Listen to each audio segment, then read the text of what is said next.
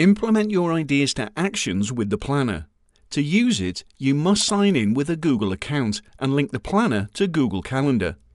Once linked, you can create and edit schedules.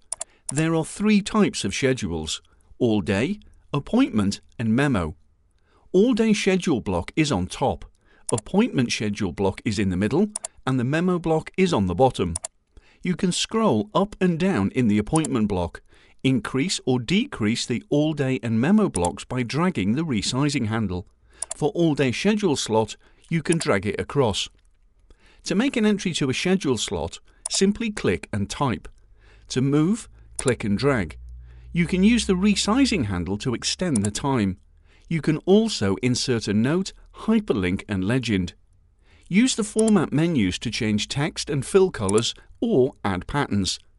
You can specify the start time in intervals of 10 minutes. If 20 minutes is selected, then 20 will be shown in the schedule slot. View Planner in week, month and year view. However, editing the calendar is only available from the week view.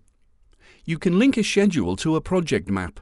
A list of project maps can be seen by clicking the Project List ribbon menu or clicking the empty vertical bar.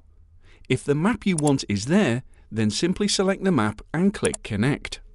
If the map is not listed, then you must register the map you want as a project map. Click Register from the ribbon menu. You can create a new map or select an existing map. Local means within your computer, and Cloud means from the Google Drive.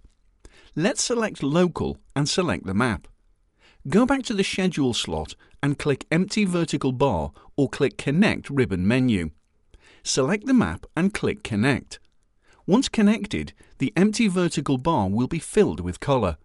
Add Schedule from the map will appear in the planner and the Schedule from Planner will appear on the map. You can assign a colour to the project map from the dashboard so that the schedules linked to the project map will be filled with that colour. The planner syncs with Google Calendar and you can export in iCal format.